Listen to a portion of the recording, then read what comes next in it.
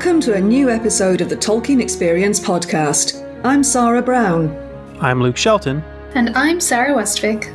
Each episode, we share with you an interview of a Tolkien scholar or fan. That's right. In these interviews, one of us asks our guest to respond to six questions that help us learn about their personal Tolkien experience. All of this is made possible by our supporters on Patreon, so we want to thank them and encourage you to check out the community at patreon.com slash Tolkien Experience. We are so excited to share this podcast with you. So without any more delay, let me introduce our guest. Hello, everybody, and welcome to the latest episode of the Tolkien Experience podcast. And today I am immensely excited to reveal that our guest is none other than renowned Tolkien scholar Verlyn Flieger. And it almost seems redundant to make this introduction because I can't imagine that most of you haven't heard of Professor Flieger, but here goes. Verlyn Flieger is a professor emerita in the Department of English at the University of Maryland at College Park, where she taught graduate and undergraduate st- studies in Celtic, Arthurian, Native American, and Norse myth. And she now teaches courses online for Signum University.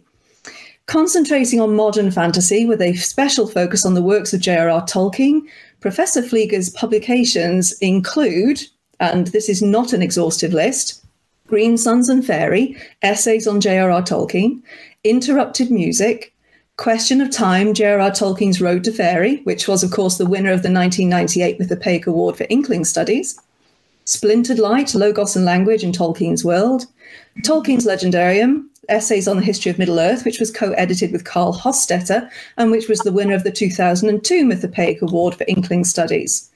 She's also written fictional works, which include Pig Tale, the Inn at Corbies' Caww, Avilion, A Romance of Voices and the Doom of Camelot, Green Hill Country in Seeker of Dreams.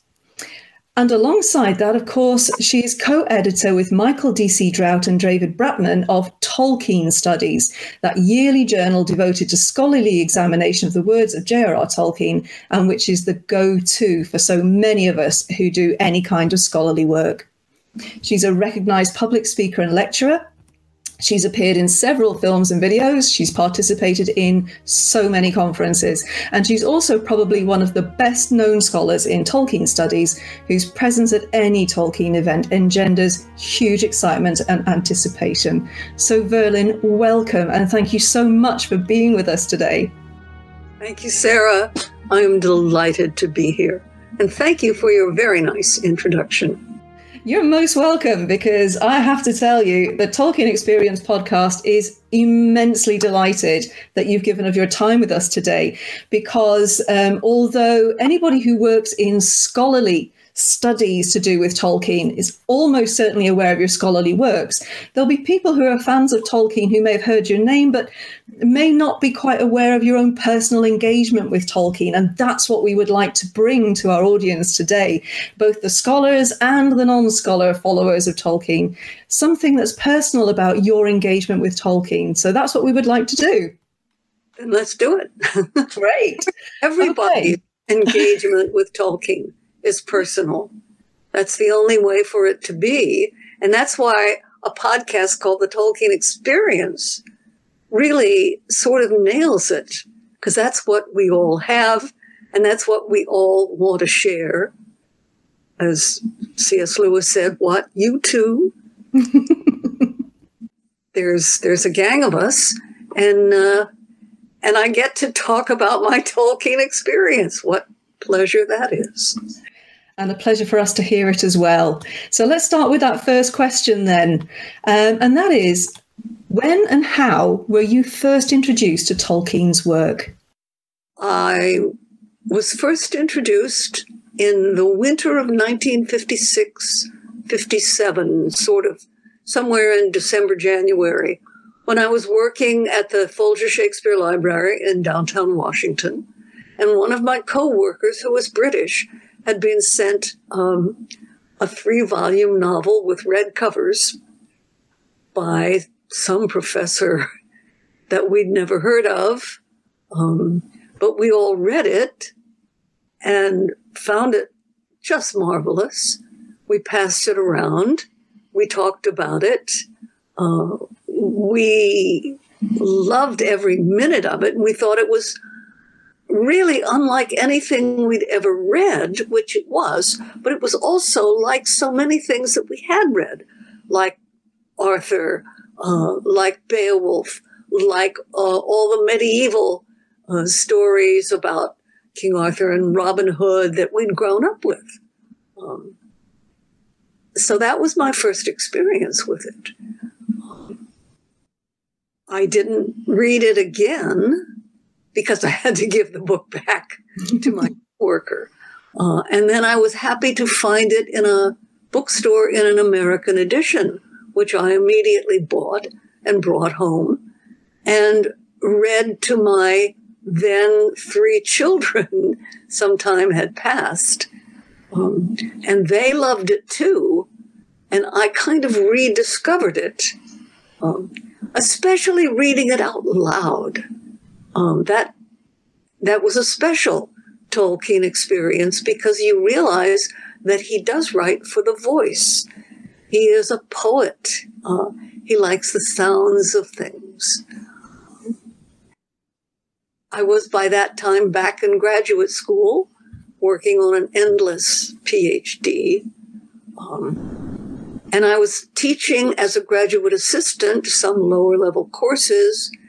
And I thought, you know, if I could get them to do it, how can I, how can I teach Tolkien in English 101?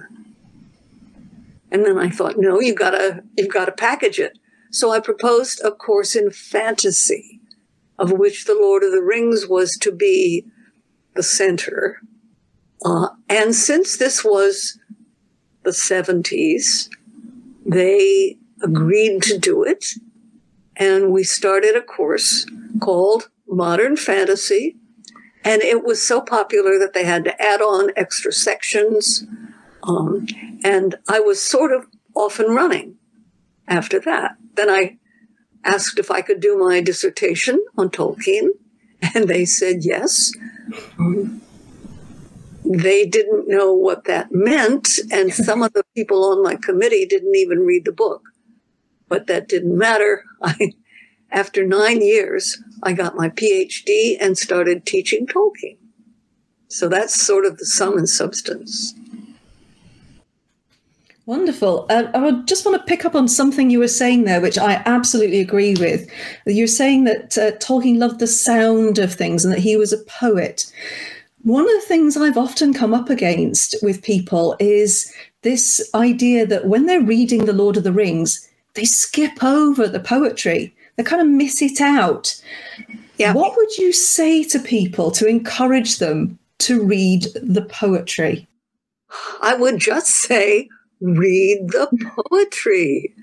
First of all, a lot of it looks at first like doggerel, like ho for the bath at the end of day. Um, but it's fun. It adds a little spice to the narrative. Um, and the words themselves do sort of sing. I mean, my kids loved troll sat alone on his hill of stone. Dumb by, gun by, uh, peel it, steal it. Uh, and then you get to things like Bilbo's poem of Eärendil, which you don't know anything about, but the words will carry you. He's trying a particular rhyme form there with feminine endings. Um, that kind of lilts along. I think if you trust the poetry, you will find that it won't let you down. I think that's that's a really lovely way to put it because I always find it's a shame when people say, "Oh, you know, I, I miss the poetry out because I just want to get on yeah. with the narrative." Yeah. And I, yeah, and I always feel like, oh, you, but you've missed something. You've really missed something that could give you a flavor of what's at the heart of Tolkien's work. Well, then when you get to, and, and it takes a while if you're reading it out, of, out loud, but when you get to the alliterative poetry, oh my God, um, it's just so wonderful. Um, the lament in uh, it's after the battle. It's after the Pelennor Fields. Um, but that is just dynamite stuff. Uh, it gives me goosebumps. Mm. When And I it read cries out to be read aloud as well, doesn't it? Absolutely. Yes. Okay.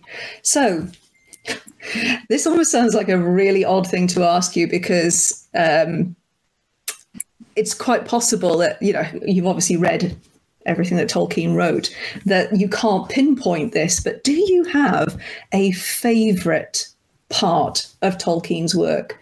Is there a favorite moment or a favorite particular book or a favorite character or anything you can point to that you say, that's the one? there are loads of them. That's the many. Yeah. Prob- I notice that volume one is more worn than the other two. Hmm. Uh, and that just says to me, you go to it more often, uh, which I do, but also for reference as well as for pleasure. I can remember when I first read The Lord of the Rings back in 1957, uh, getting to one particular passage and just literally having my breath taken away. And that was the scene with Faramir in Ithilien um, when Frodo and Sam have been some quasi captured and taken in. And Frodo looks at the window, the window on the west. I think that's the name of the chapter. And he sees the sunset through the waterfall. And Tolkien's description of that was just so magnificent and so beautiful that I I literally lost my breath. I thought, wow. You know, what it just it was a moment that I've never forgotten. hmm And still when I read it, uh, it gives me that kind of thrill. But then the one that that I can never read without starting to cry is just as, as valuable, just as precious. And it is the conversation between Frodo and Sam um, when Frodo tells Sam that he has to go away. And it's, I can't get through it. I, I used to, when I would teach it at the university, I would have to ask a student to please read it for me. Um, and they would all laugh and, you know, sort of settle back and say, well, that's the way she is. Um, but it's just so moving yeah. And so true Mm. and so sad because it's so true. Yeah. Yeah. Because we did save the site of the Shire, Sam, but not for me. Don't, there's, don't get me started. I know, I know, I know. I, I You're up. yeah, exactly. It is so affecting. Um, for me, it's that is is definitely a point. But the death of Theoden does for me every single time as well. I find that oh, so. Oh, that's lovely. Yes. Oh, yeah, the language and just that moment, and oh, yeah, that you get- you just sort of get this lump in your throat, and you're trying to read past that. It's amazing. Well, but it's don't you think it's also also because it's Theoden yeah, and he's such a lovely guy, uh, and and you you love him, or at least I do, and I bet you do too. yes, Uh, so, and that's part of Tolkien's genius. It isn't just the writing. It's not, well, of course, it's the words on the page because that's all we have. But, but it's, it's not just their sound. Uh, it's not just their meaning. It's what he has built into it from, from behind yes, to know these people. I, you know, it's that it's Frodo who says to Sam, I thought so too. hmm It's Theoden who's dying. Yeah. And we And- care. And we care. Mhm. You've said it exactly. Yeah. And that there's a kind of magic in writing like that, I think, where you've been pulled so thoroughly into that world that you feel like it's the death of someone you actually know somehow. It's Yes. extraordinary. And um, conversely, and for the same reasons, only turned around, I do not weep at the death of Denethor Yeah. because I know him too. Hmm. Yes.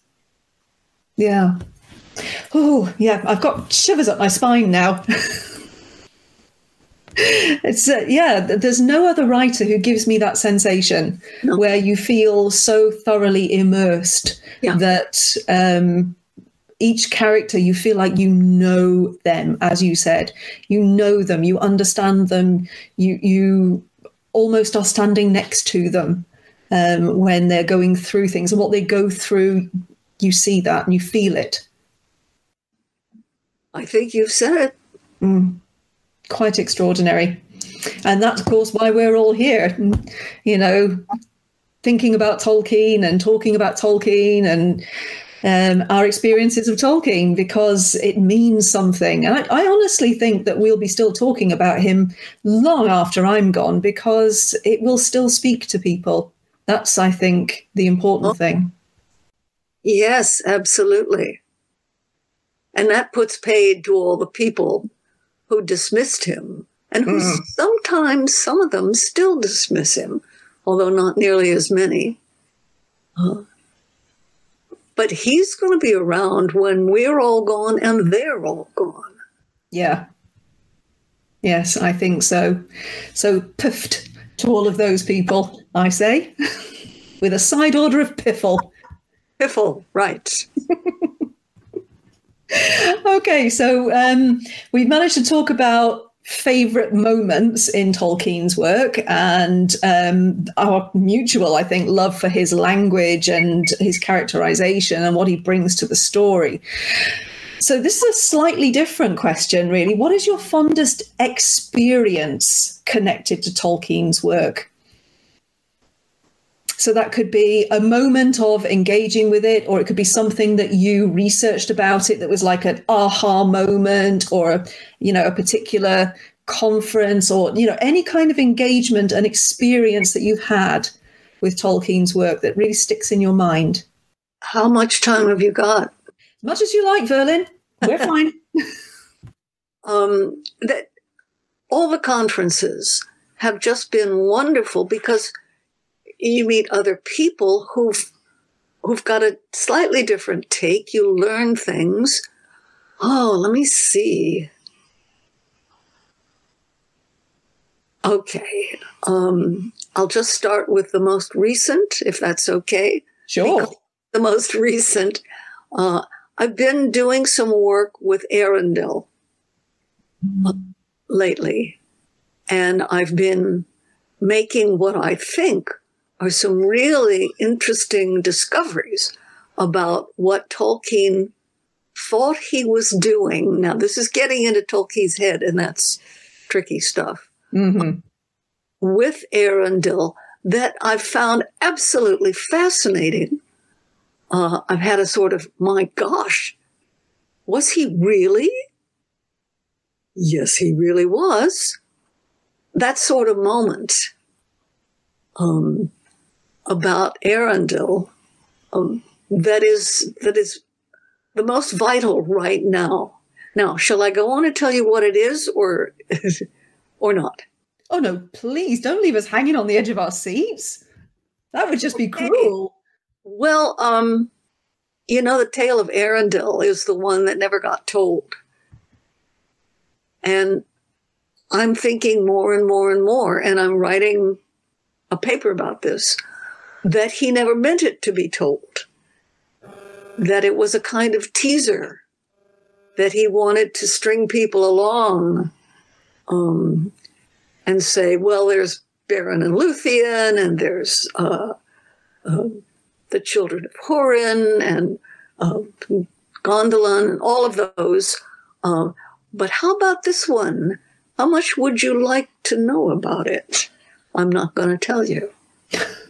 It's it's that process of of pulling back, of withholding, that I think is one of the one of the greatest tricks in his book, uh, and it's one that every actor knows. You don't give it all. You let the audience beg for it, and I think that's what Tolkien is doing with uh, with the tale of Eärendil because it never gets told. Um, he says, "Okay, and now we come to ta-da!" And somebody always interrupts and says, "No, not now. we'll do that later." Uh, so it it's this kind of thread of of pro- provocation of tease that runs through not the Lord of the Rings, but the whole of the, the Silmarillion. And I think it was very clever of him to have thought of that and to have brought it off. So hold on, you're telling us that that Eärendil thing was one giant Tolkien tease? Yes. Huh. well, Well, and of course, I expect some pushback uh, because I think a lot of people are going to say, oh, come on. Uh, are you really saying, what about this and this and this and this? Um, and I would love to hear it. I'm, I'm ready for you. do you know what I'm really enjoying right this second as well? What? Before we went on air, before we started recording, you told me that you were retired. And I said, ha. oh, no, you're not. No, no, you're not. You got me. Because you're still excited about discoveries with Tolkien, aren't you? Of course. I think everybody is. That's the Tolkien experience. that's what we're doing. And that's what keeps it going on and on and on. Absolutely marvelous. So, you've clearly been engaging with Tolkien for quite some time. I'm going to be extremely polite and not actually add up all of those years. Um, but you've been you've been working um, in a scholarly fashion with Tolkien now for some time. Do you think the way in which you've approached his work has changed over time at all? Yes and no. When I did my dissertation, I was trying to please my committee.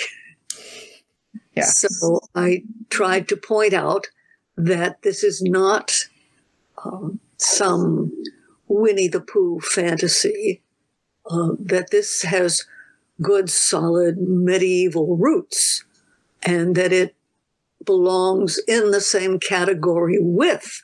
And then you can name uh, all of the others Beowulf, Thomas Malory, um, Edmund Spenser. Uh, it was a kind of a defense of Tolkien. Mm-hmm. And I don't have to do that anymore because that case has been made and made marvelously, first by Tom Shippey, uh, but then by lots and lots of other people with great academic credentials. So now I'm much more interested in Tolkien as a modernist, Mm-hmm. uh, as somebody very au courant with um, with modern literary theories and ideas.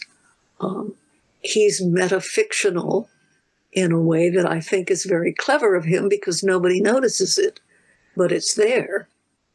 Um, and I've gotten much more interested in the Silmarillion. Uh, I still think that the jewel in the crown is the Lord of the Rings. Mm-hmm. Uh-huh. But it is that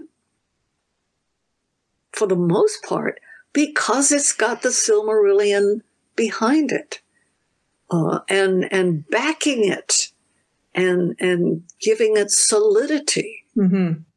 Uh, and I've been working with um, the three great tales. I gave a paper um, a couple of weeks ago to an Italian Tolkien association on the three great tales and what what's really going on with them. How did they interface with each other? Uh, why were they great? Uh, what in Tolkien's mind made them the great tales? And none of that comes into The Lord of the Rings except when Elrond says to Frodo at, um, at Rivendell, if all of the elf friends and all of the heroes, and then he names them, um, were gathered, you would be in their company. And that's the background. And of course, when I first read that, and for years afterward, even when I read it to my children, I didn't know who they were. Turin and Hurin, uh, and Aaron. They were just names. Um, but they weren't names to Tolkien. He knew exactly who they were. Mm-hmm. One whose story he wouldn't tell anybody. Um, and I've gotten much more interested in in the solidity of that, in the the fact that that's the presence, that's the unseen but not unfelt presence that's behind what is still to me the major work. Mm-hmm. But I don't know. What do you think? What's yours, Sarah?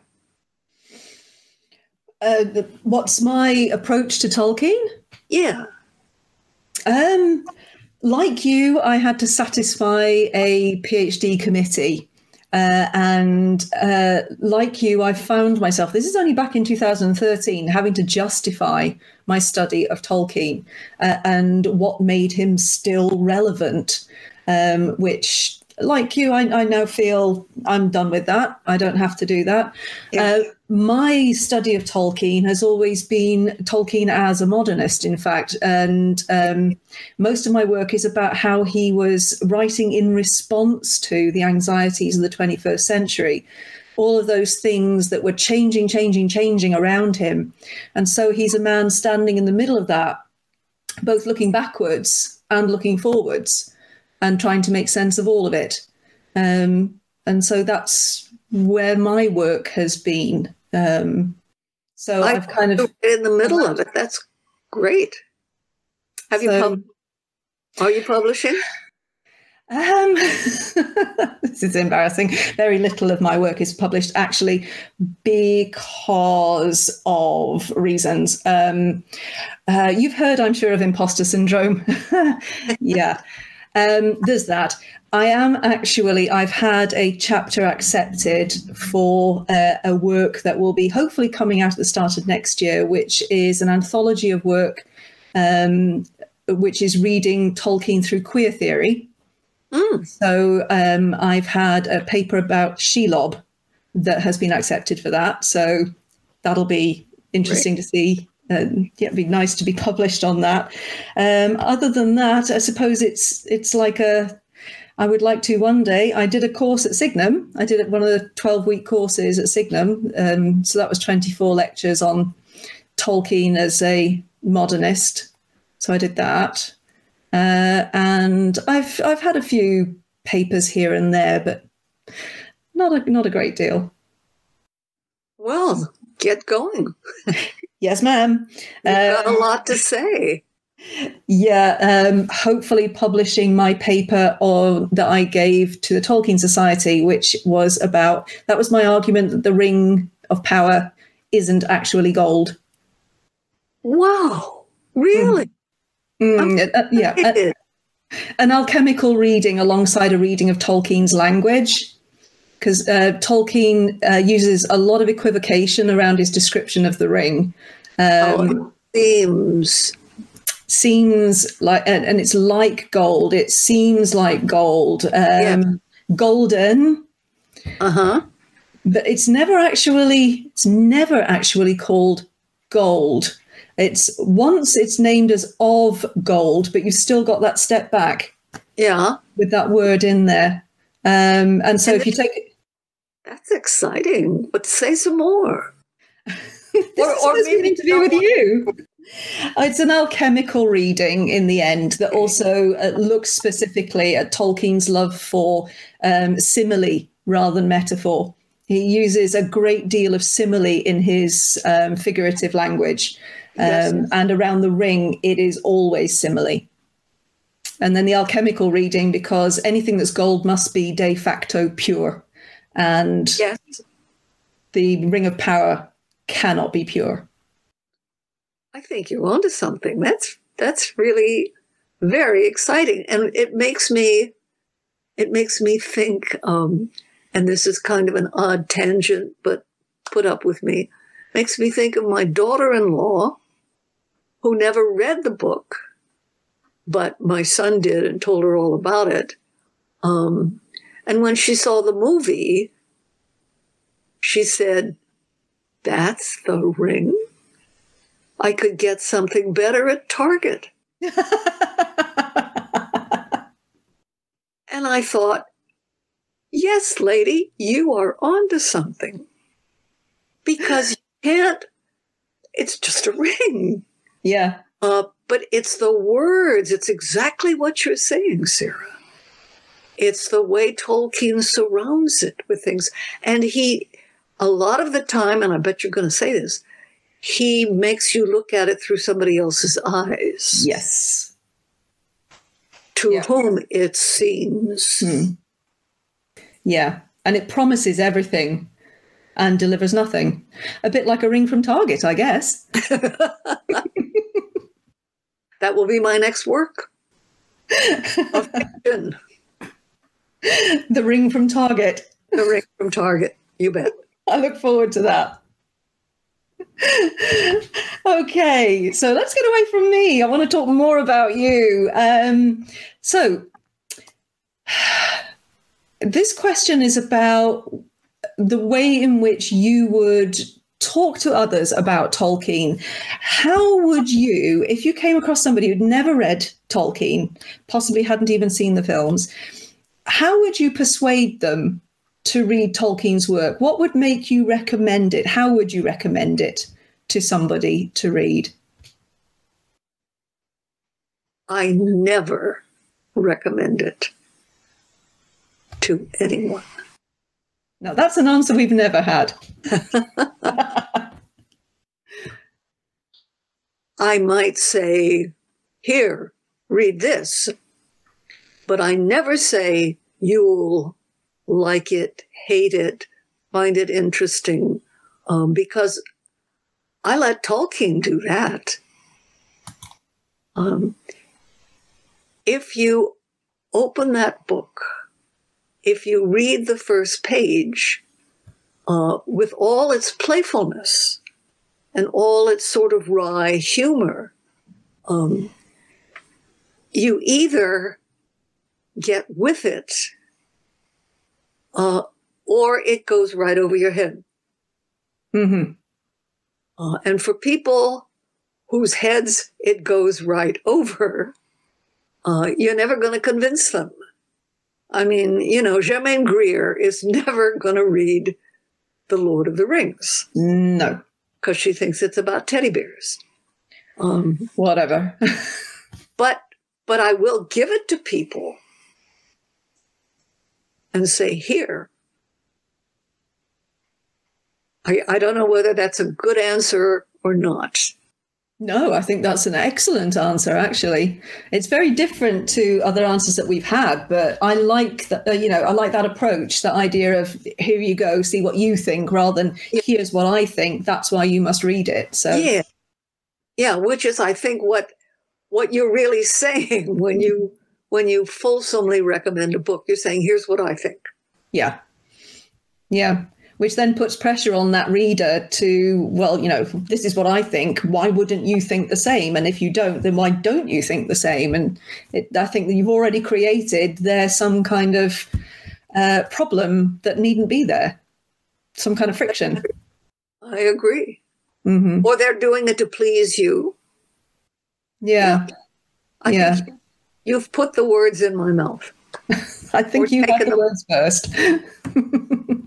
That's like my husband. My husband will never read The Lord of the Rings. He's never going to read The Lord of the Rings. He's never read anything like that. It just is not something that he wants to read. There'd be no point in me saying, but it's wonderful. He knows I think it's wonderful. That's not going to make him read it. No, um, but that's fine. He doesn't wear your clothes. He doesn't. Uh, Not usually. yeah, you can. And what you're saying is, it is possible to like or even love somebody if they don't like the Lord of the Rings. It is. Yes, Yeah. and it it's in it's defining but not discriminating. Now, those are good words. Yes. Yeah, I agree. So, to kind of draw this uh, interview towards its close, what are you excited for in the future of Tolkien studies? What's an area that you think, oh, I hope somebody gets to do that, or I'd be really interested in hearing more about this? Gosh, Yes, I know that's a huge question to throw at someone with no It- it- preparation. it is an enormous one. Uh, I'm just sort of running down my list. This is Mhm. this. I think I'm going to have to say, I want to be surprised. Hmm. I want somebody to get something out of this book and tell me about it that I haven't seen. Yeah, and for a scholar that's been, you know, working for some time on Tolkien, you really have seen quite a lot of the major arguments around Tolkien already. I've seen a lot, but I don't think it's by any means the lot. hmm hmm I remember you saying to me at one conference that um, you were surprised at the dearth of work on the Notion Club papers. Do you think that's still the case? I haven't read very much on it. Hmm. Um, yeah, I would. I'd love to see somebody really tear into the Notion Club because I think he's he's dipping into some seldom visited aspects of his secondary world hmm like reincarnation, which he very carefully says, no, no, this is not reincarnation. It's just different people inhabiting the same bodies. um, but it is. And he knew it was. And he was interested himself in reincarnation. So, yeah, I'd love to see somebody really getting into that. Do you have any ideas about it, Sarah? Me, myself personally, no, I really don't, because I'm ashamed to say that although I have read the Notion Club papers, I haven't spent any real time on pulling it apart. Um, and I suppose the problem is we say we, that's a little all encompassing. I certainly feel more directed towards uh, his published narratives, you know, the great work, as you call it, The Lord Yeah. of the Rings, The Hobbit, Silmarillion, all of those. Um, and I just I haven't engaged as much with things like the Notion Club papers, and that is a bit of a shame. But I wonder if that's actually prevalent amongst scholarship is that we feel pulled towards these, and that one just gets left in the dust a little bit. It does. Um, and especially, how can I say this? Uh, it's in two parts. Mhm. And the first part uh, is really a rehash of an Inkling's meeting, Mhm. Uh, and he did, in fact, at one point assign identities uh, to to the characters. And even if he hadn't, you can pick out Hugo Dyson, you can pick out Owen Barfield. Um, but in the second part, where the two time travelers um, set off time traveling, uh, he's going into what for him was, as far as I know, kind of uncharted territory. Mhm. although I suspect he was, this is going to be risky. I suspect he was writing from experience. I suspect he had had moments like that that he could draw on so that at the end of part two of um, of the Notion Club papers, uh, which is all about time travel, uh, one of the characters says, "Well, back up a little bit." In the middle of part two, one of the characters says, "Well, I'll tell you about this dream that I had."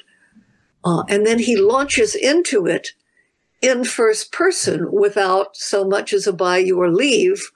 I awoke on the bench and the others were gathered around listening to the shop. And you are pulled into the dream without any transition at all. Mm-hmm. Uh, you just are back there. And this is the story of Sheaf, the baby in the boat at the beginning of Beowulf, who arrives as Scyld Scefing um, and comes to to become a good king, Fatwas good König. Um, and it goes on and on and on in this wonderful recreation of that world in in first person narrative so that you're absolutely there with it and then it gets to a moment and there I think I shall stop says the modern day man, and you are just jolted Mm-hmm. out of your trance and out of his dream into the modern world. And then you realize that that's the end of the Notion Club papers. Mm. So you've gone two removes back from this immediate Faërie and drama. And that's a loaded term, as Tolkien talks a lot about it in the essay on fairy stories, and he never says what it is. Um, but I think that it's that kind of thing. I want somebody to to do that. I want somebody to jump in and take a look at at what's going on there and then say what needs to be said about why Tolkien was writing about it. That's a long preamble to a tale. Well, I think Yeah. that set a challenge for people. There we go, everybody. The challenge has been set by Verlyn Flieger. Okay. Go read the Notion Club papers and see what you can do with it. That's no bad challenge, I think. I think, yeah, that would be very interesting. It up. hmm So, I don't get the sense from you that you are worried about the future of Tolkien studies. No. Not in the least. I think we've just started. I think we've just managed to clear away the debris and see the road ahead of us or the roads ahead of us. I think it's, I wish I could live to be 100. Well, I plan to be 100. I wish I could live to be 200. Uh, so I could see what the future of Tolkien studies really turns out to be. Mm. Well, I promise to come and attend your paper that you give on your 100th birthday, Verlyn. So that's a date. The only one. I welcome your presence. Uh, well, I don't want to hear any more of this I'm retired nonsense. Okay. Enough said. But but um, it's it's a, a continuing joy actually to hear you, to listen to your papers, and to read what you put out because your love for Tolkien just it shines through when you're speaking about him, when you're writing about him, it comes off the page. It's one of the glories of actually reading what you write, Verlyn, to be honest. Um, you just sense your enthusiasm. It's right there. Thank you, Sarah. That's as much as anybody could possibly ask for. Uh, I'll settle for that. I think that's a, a lovely place to leave the interview, actually. Um, it's been oh. wonderful. We can't talk for another two or three or four hours. You and I certainly can. We can go and fetch our beverages of choice and uh, and okay. kick back and chat. Okay. Well, thank you, Sarah, for some really interesting questions. Some posers, some that really kind of shook me out of my complacency, made me think. You're a good. You're a good questioner. You have no idea how much I am blushing at this moment. it, it, really has been lovely, and um, I'm sure our listeners have enjoyed it. If they've enjoyed it half as much as I have, then it will have been a splendid experience for them to listen to your Tolkien experience, Verlyn. So thank you very much again for giving of your time. Thank you. We are so thankful that we have such gracious scholars and fans who want to share their Tolkien experience with us and with you. We really enjoy making these podcasts, and the fun doesn't stop here. That's right, it continues on social media. You can find us on Facebook as Tolkien Experience and Twitter as at TolkienEXP. Don't forget to like, follow, share, and comment because we love interacting with you just as much as we enjoy talking to our guests. For even more content and to join our fellowship of supporters, check out our Patreon by going to patreon.com slash Tolkien Experience. Finally, you can also follow our personal Twitter accounts. I'm at Luke B. Shelton. I'm at SR Westvic. And I'm at Aaron L. Palmadill. If you have questions or comments, you can send them to us by email at tolkienexperience at gmail.com. If you want to know more about this week's guest, we provide show notes at tolkienexperience.com. You can find the podcast on all major podcast services, including Apple, Stitcher, and YouTube. Please take a moment to rate and review the podcast wherever you listen to it. Thank you for listening to our podcast, and we truly hope that, in a way, it contributes to your own Tolkien experience.